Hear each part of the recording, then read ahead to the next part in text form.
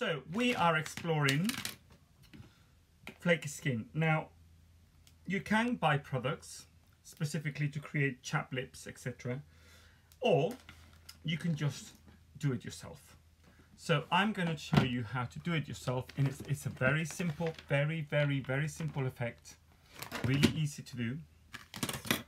You're going to need your takeaway container. As we know, all my kits are at the, they're in town in the studio. So unfortunately, I've had to make do with my stay-at-home kit by Treasure House. And then some things I have around the house. And as I don't have any mixing palettes, lids means you reuse them, you recycle. Although these things are supposed to be recyclable, I'm always a bit dubious because it doesn't actually have a recycling thing on it. So I don't know if you can or you can't. So I always give it a nice spray with my IPA, just make sure there's no grease on it. We're going to be doing, the other thing you're going to need is your Mehron liquid makeup. Okay, I'm using the clear one. It looks white, but it does go clear. It doesn't have any color. And just a cosmetic sponge. Now, I don't use the sponge in one. I break it up to give me a rough edge. Now, I do that because I want to make sure that, um, one second, I just need to tell people I'm live. People, oh gosh, I nearly dropped you. There we are. People want to know apparently these things, so that they seem to be enjoying. Um, just say we are live. We are live. Oops. So they seem to be enjoying these videos, which is lovely. So there we go. Um, we oops, we are live. Now, a lot of you um, will be going back to work now, so I won't expect that many people to join. But if you are joining me, fabulous. Right. So Mehron liquid, liquid, liquid latex, takeaway lid, and a cosmetic sponge. Break it in half. That's the edge you're going to be using. Okay, see that raggedy edge? That's because you're going to create uneven skin textures, which is what the real skin is about. So I'm going to give myself a dry nose for now. So, bit of liquid latex onto my pot. There we go, just that much, okay.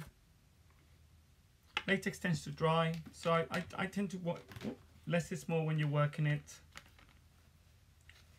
Remember, when you're using latex, it can stain clothes, like, like any makeup. So just, you know, don't be too precious about what you're wearing.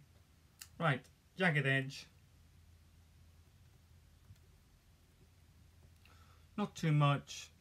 I need a mirror. Where's my mirror? Get my mirror.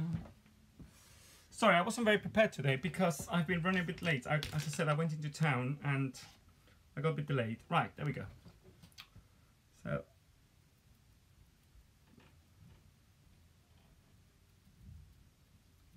Now this is a very realistic, but very simple effect. You stipple the latex, mind your edges.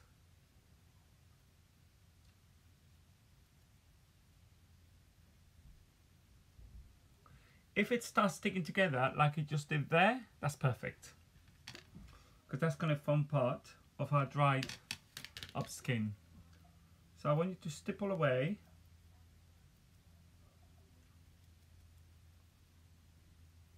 As we're only going to do one layer of latex, it needs to be really lovely and thin and even.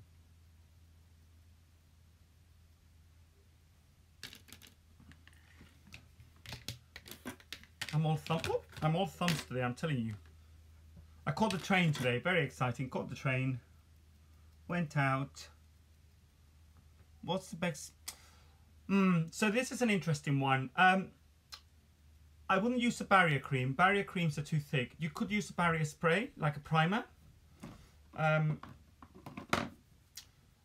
or airbrush a primer. Creams, okay, anything you add onto, onto the skin is going to have an element of grease to protect the skin. Now, because of that, latex is not going to be too happy with you. So, you just need to judge the amount of latex you're going to be using and how much, um, how much that person's skin is affected by irritants. I personally wouldn't use anything because you want the skin to be completely clear so that the latex sticks to the skin and, and or prosthetic stick to the skin. Uh, you can use Jay. The only problem with primers and latex, as the primer tends to be grease, it will have an element of grease or silicon. Now, silicon and latex do not work together. They will they will cancel each other out. Grease is fine. I would use normally a primer spray, like a, like you can go primer sprays. Mehron, we've got a primer spray, and it's just a little bit thinner. Ideally, nothing. But if you want to protect the skin, because that person has very sensitive skin, then a primer spray. Try to avoid silicone primers. Silicone and latex, as I said, you can never mix silicone and latex. They cancel each other. And with glue, if you're if you're sticking prosthetics to a person, um, glue will not stick to primers. So suddenly you've put the prosthetic on, you've stuck it down, and you find it starts lifting. No problem. Water-based spray, yeah, that's good.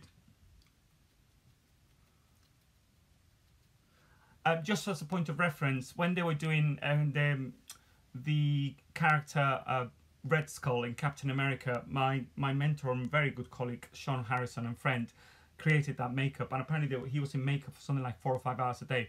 By the end of the filming, his skin was destroyed. But it's part and parcel of the job, unfortunately. Uh, and they, these actors are very much aware of this. Okay. So we got that layer of latex. Yes? Very simple.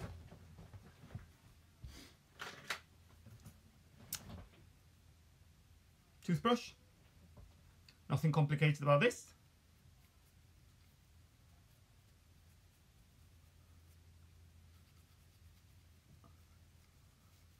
I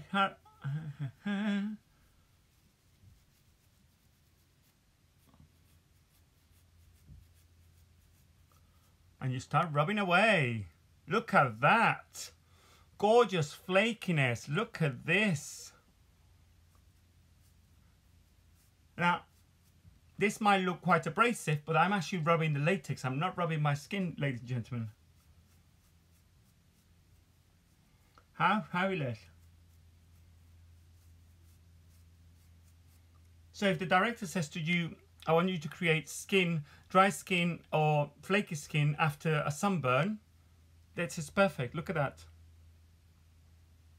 Yeah? Now, bear in mind, you must remember where you've put the latex. Now, if you can't see it because your layer is only one layer, just get a little light and shine it with your phone and you'll see where the latex is. I mean, I can see it because I know exactly where it went.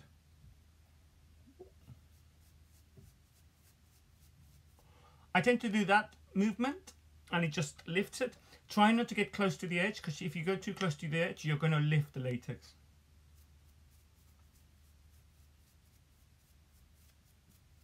Oops, too, much. see, I went a bit too far. That was too excited, but that's fine. We can work with that.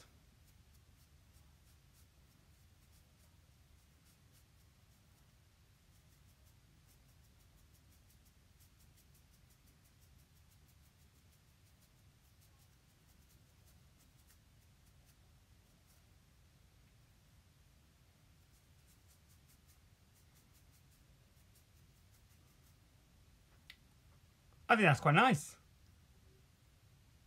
Oh, it's a bit more.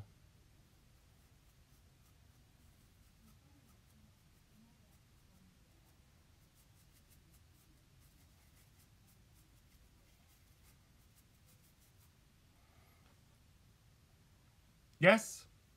So, very simple, very simple, gorgeous effect. This, you could put an under, under layer of uh, you could use your, one second. We could go to our Ben Nye Essential Effects palette and use our burnt coral, which is that one which is for sunburns. You could put that underneath and then do this effect. So this is flaky. Now we're to do the lips next. What is your go-to foundation for cold climates? For location favorites, cash so easily, I would say airbrush is the way to go. Now, I would always say airbrush, airbrush, airbrush all the way. You will find a lot of um, filming. You don't need to find filming, airbrushing filming because a lot of actors and actresses actually don't like the airbrush. For some reason, especially actors and actresses of a certain age. Um, I work with quite famous actress of a certain age, and she basically said to me, "I don't like the airbrush. I don't like the air. You know, I don't." They think they're inhaling the makeup. They, it just there's a sim- there's like a block in your mind.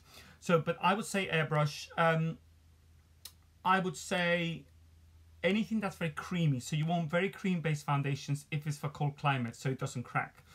Um, any kind of watery-based makeup, I would probably avoid.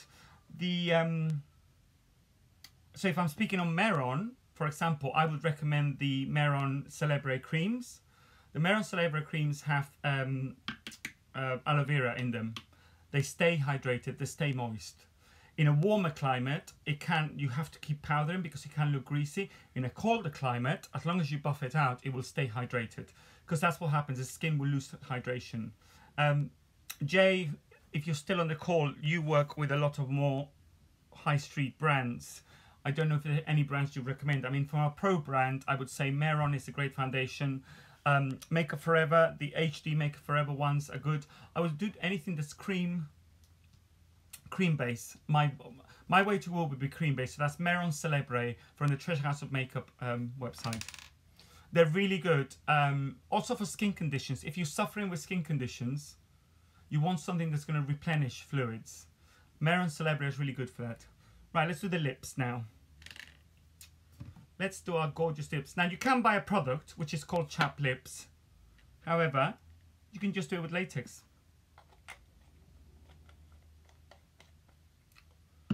You don't have to do anything too exciting. You've got to try to save money wherever you can in this day and age. You really have to try to save money. Um, uh, uh, uh.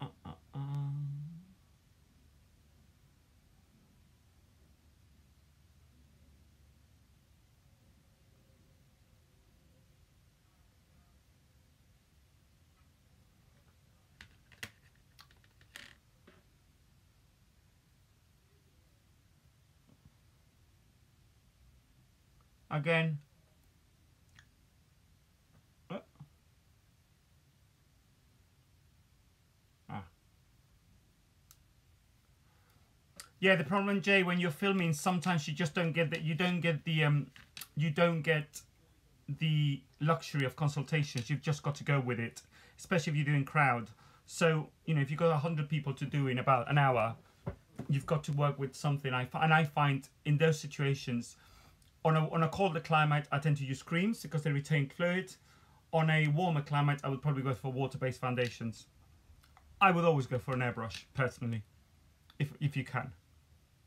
But a lot of film sets, you just won't, depending of this of the of the person's age.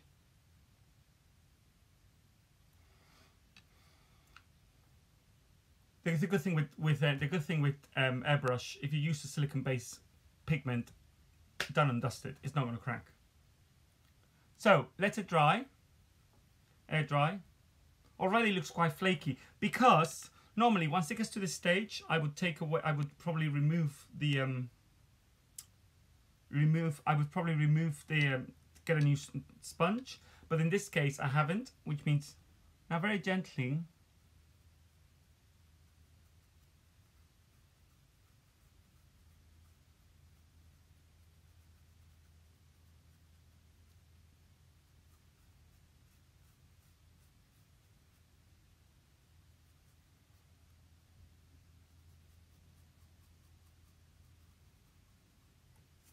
Now, the brush must be dry. Okay, I've got another one here actually. This one's from Ben. This one's the Bdellium Bdellium brushes by Thomas Surprenant 110.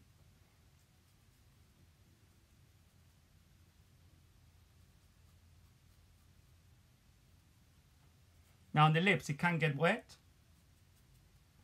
and that's not what you want. Okay. Fabulous, look at that. Gorgeous.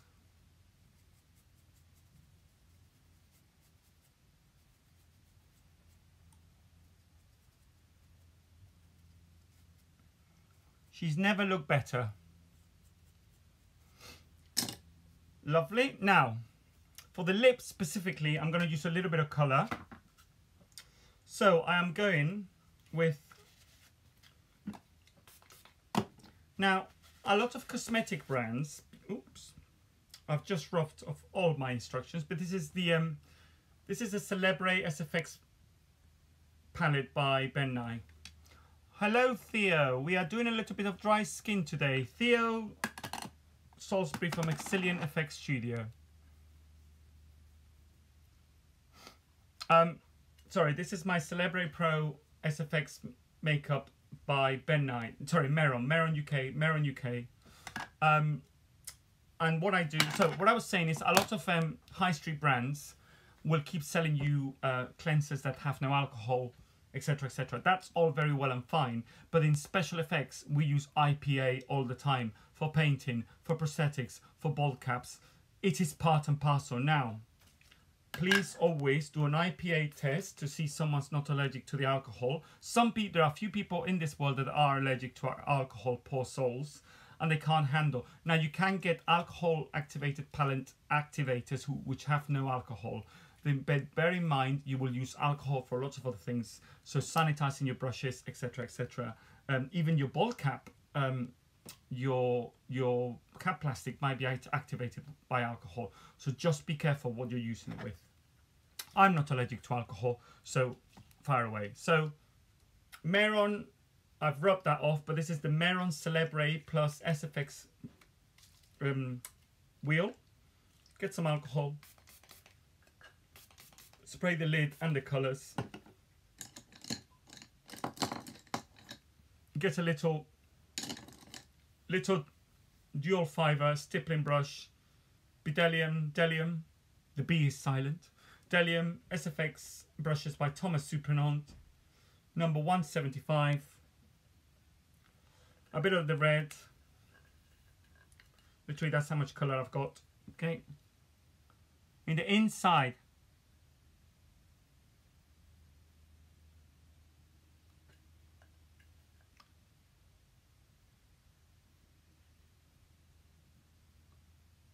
So underneath, underneath where the lip is going,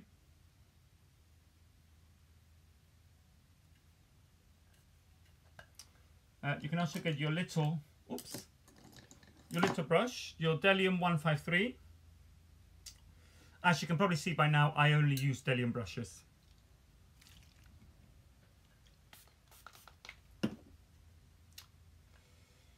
-dee. too much. Now, if you let it bleed into the um, into the latex itself, if you let the alcohol bleed in, so if it's quite alcoholic, it will bleed in and then blend the latex into the color.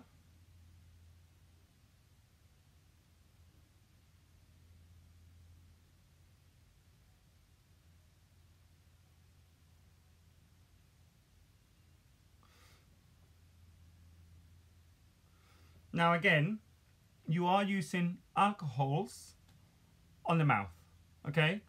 So, because you are using alcohols in the mouth, just be aware of that. Around here, again, around the eyes, around the mouth. But, again, it's worth asking if the person has an allergy to alcohol or extremely sensitive skin. They are going to get this is not the realms of consumer makeup. People, actors, actresses, models will go through essentially what they are paid to do. So there is an there is that expectation that when you're working in a film TV environment, people know what this is about. They will be used to it. If they don't, you just need to, to explain every step to them and what might they get. You know, they might get a bit of redness after wearing a prosthetic. Just give them good skincare and aftercare advice.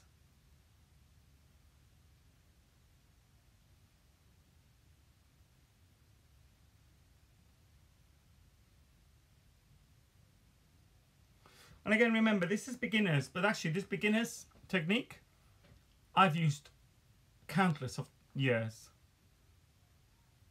on film set all the time. Now, if you were a beauty makeup artist and you were brought someone with these lips, the challenge would be how to get rid of it. Now, dry flaky skin, you can use the um, very gently with a dry toothbrush. You can actually take the, the dried skin away before applying a lipstick. But the best thing would be to use something like 8 Hour Repair by Elizabeth Arden. That kind of solves that. I always keep one, that one of those in my kit. Elizabeth Arden 8 Hour Repair has saved my life, ladies and gentlemen, many a time. Especially, you know, when you are on set at 5 o'clock in the morning, the actor arrives looking like a dog's dinner, dry lips, they've been out on the rads dry nose, all sorts. So bleed into the lip, please, okay? Bleed the colour in. Oops.